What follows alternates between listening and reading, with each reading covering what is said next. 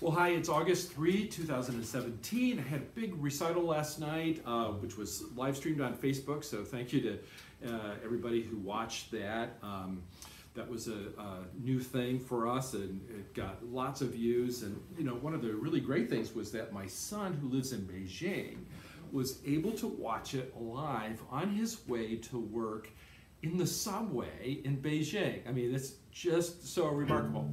Anyway, um, back on the horse.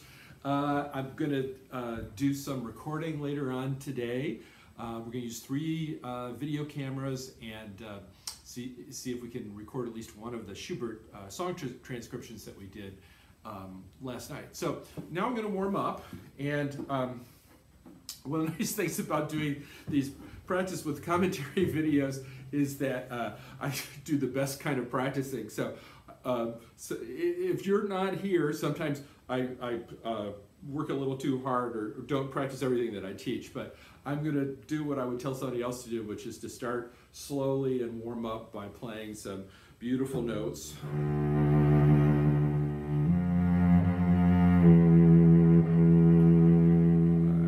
Uh, one thing I've been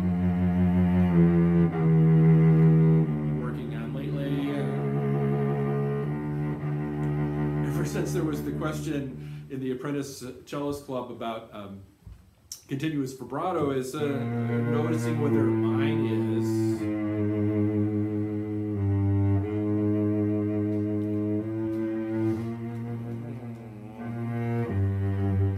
So, as I'm playing and as I'm watching, I gotta say that this watching is so helpful.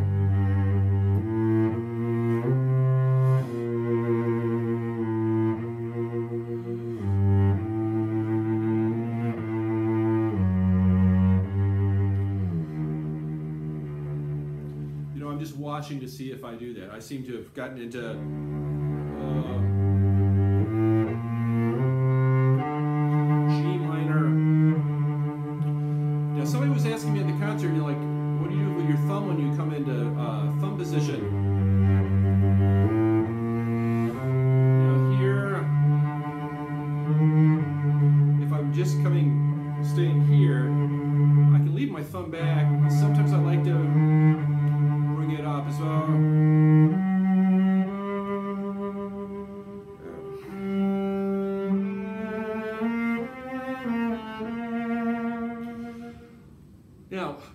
question is when you're in thumb position, you know, what's the relationship between your third finger and your thumb? And um, if you're new to thumb position, you might not know or even want to hear that that's the thing. But, but it's a perfect fourth on one string or an octave when you're on two strings. So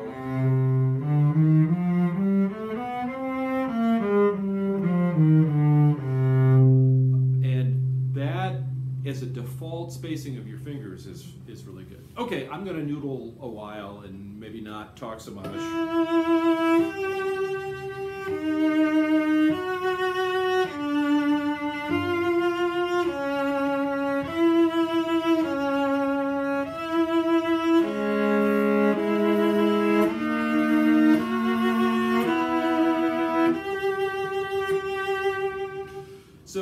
Working on here, I guess I am going to talk more than I thought, um, is uh, uh, when I'm vibrating with my fourth finger, that I'm not curling up or I'm not really having my third finger on the A string, but I have these fingers over the D string, or even even further.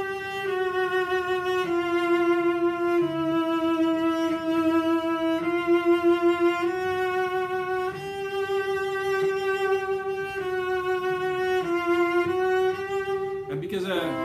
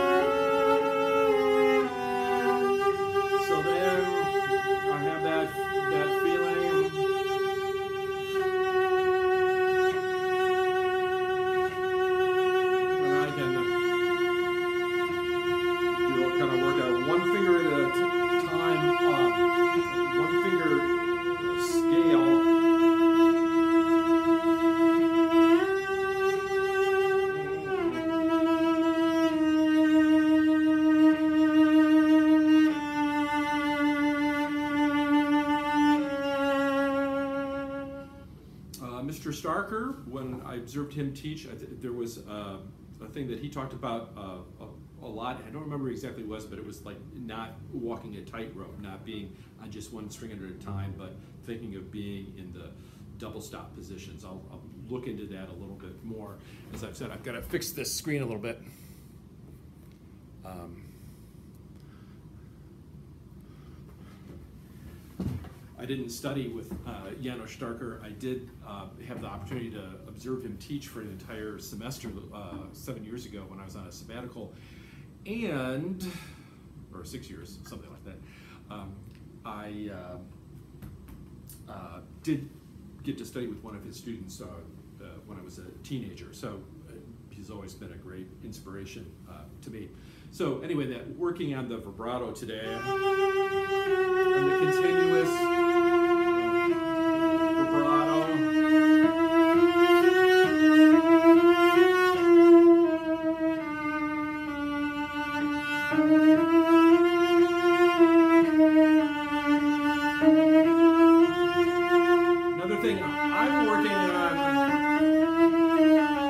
a tendency to slump.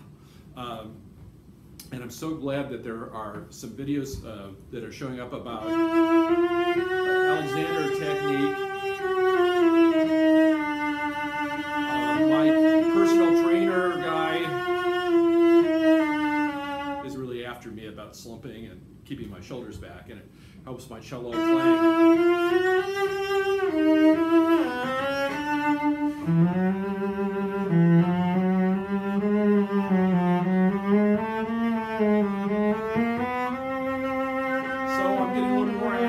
Active. I'm getting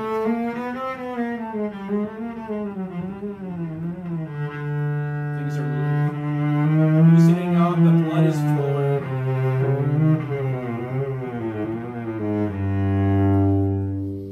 Uh, did a video about um, slurping your way to success with one finger scale. So I'm I'm going to do actual scale uh, with one finger, and um,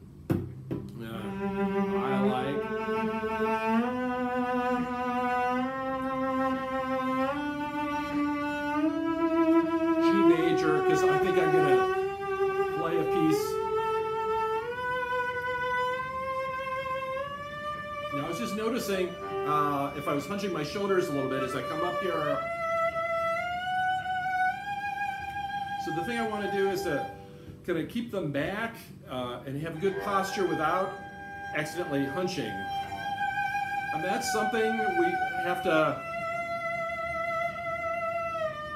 There we go. Uh, I need to watch. So there's increasingly good posture.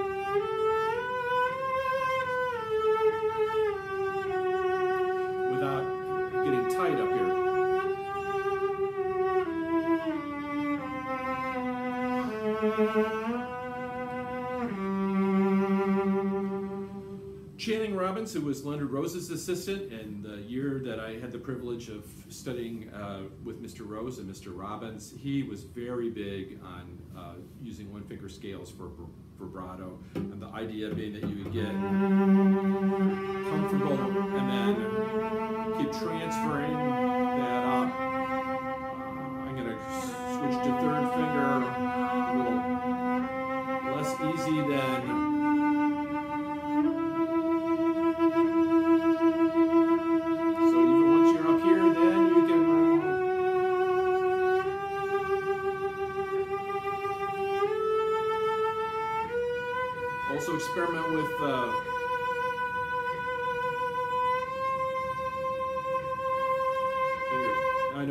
Pressing down a little bit. My fourth finger's uh,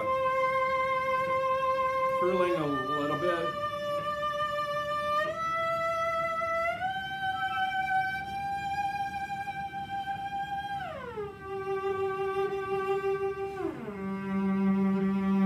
seems to be a reaction to just having the arm weight on there, and there's a little muscular uh, pressure, so I'm going to kind of watch that.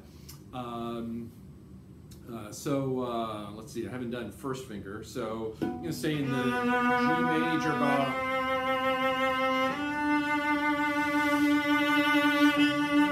And you know, I like to be kind of flexible with what I'm doing, so I feel creative. And I'm not coming from a right and wrong perspective in terms of being judgmental. And, and when I feel like I'm being musical, that uh, helps.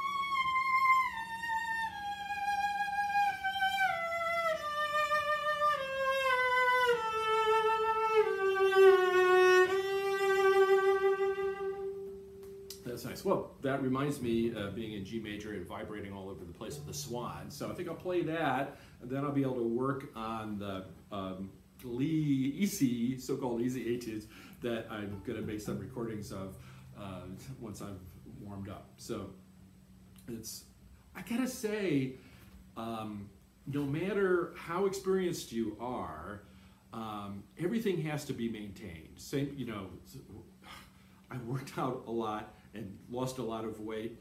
You know, five or ten years ago, I stopped working out, started stopped uh, uh, being really intentionally healthy about my diet, and I gained a lot of weight and got out of shape. Um, if I don't practice a lot, if anybody didn't practice a lot, um, their playing deteriorates. And a lot of us, I was talking with somebody last night, uh, you know, find that as we get older, um, uh, we have to keep practicing. Our, our bodies change. Um, and so to maintain things and kind of rediscover how to play with our bodies as they have evolved is, is really important. Um, unfortunately, just like you can't get to a certain level of skill and then stop practicing. If only that was the case. Um, and I remember Bernard Greenhouse, the year that I had the privilege of studying with him, talked very much about this. He was just turning 70 that year, um, and he was talking about how he had ad- adapted his vibrato, and you know he had to really, uh, he was still performing a lot. He had to to practice and and really pay attention to the mechanics. Anyway, this one.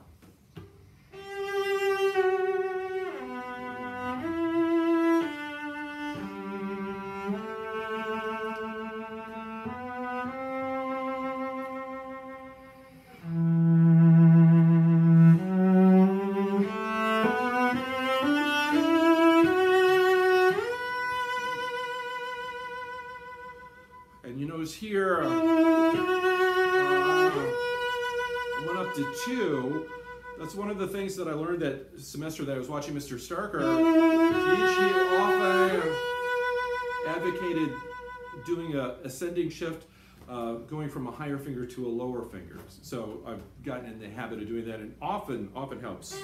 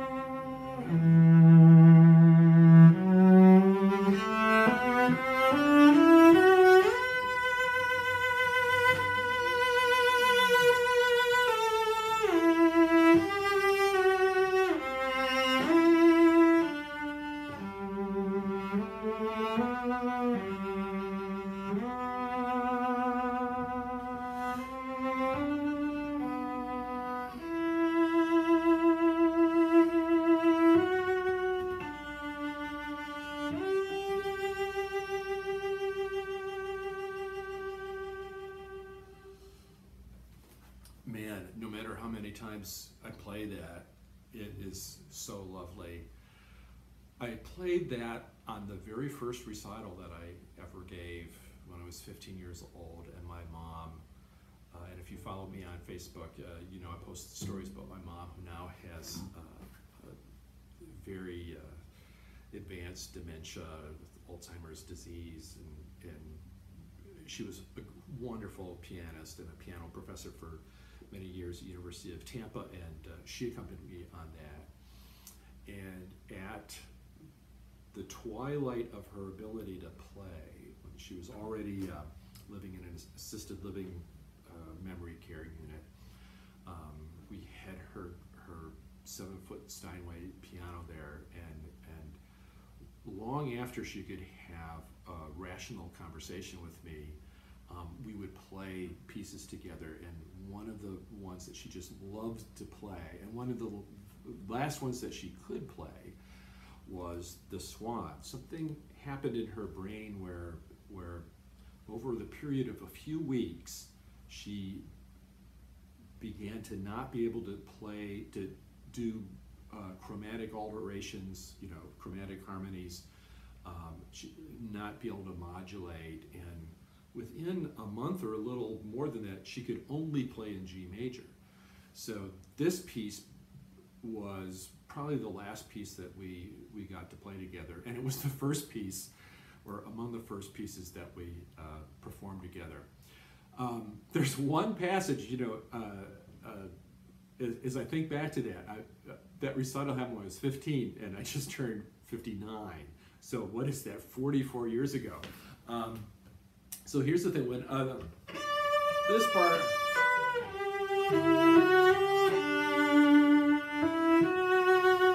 I want, there, I messed that up again. again just now and and for 44 years i get worried every time i play that passage and um, um, i haven't you know worked it out and practiced it lately but um, these things happen uh, i did uh, when i played this before the kind of uh, most conventional fingering of coming down to four that is tricky I don't know if there still is a tape of that recital. I, am not sure which shift it was in this passage that I messed up. Or, uh, maybe that was that one. Now, I avoided the, the one to four issue because that is really tricky just now by playing a harmonic. Um, if you happen to be working on this piece, uh, it's often a lot easier to slide down on three. And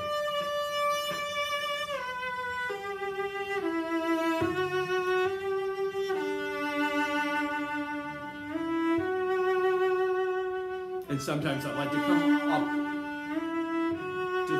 there. And then using the harmonic, you can come back to two. or even not use the harmonic.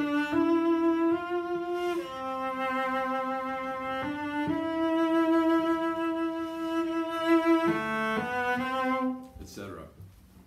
Anyway, I just always love playing that piece, and I don't always think about my mom when I uh, play it, but it was nice to think about it today. Well, anyway, now I'm warmed up, um, so I'll put this in the, my YouTube uh, practice uh, vlog um, category. And uh, now I will make some videos of some more Lee etudes. See ya.